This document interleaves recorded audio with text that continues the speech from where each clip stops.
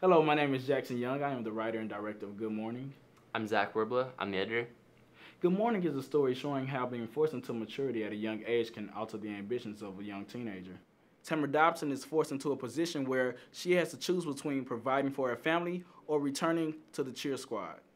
Tamara Dobson's mother has recently passed away due to breast cancer, and her grandmother is bedridden, so she's forced to become a surrogate parent to her two much younger siblings, Emmett and Casey. This film brings up the topic of breast cancer and the impact that it could leave behind on a family.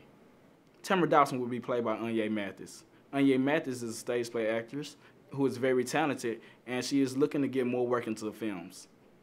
This film is being produced at the University of North Texas and is completely student funded. We would appreciate any possible donations to provide food for the crew, transportations, props, a Steadicam operator, and other miscellaneous costs that are associated with filmmaking. By donating any amount of money to this film, you will become a part of this filmmaking process. We will greatly appreciate it.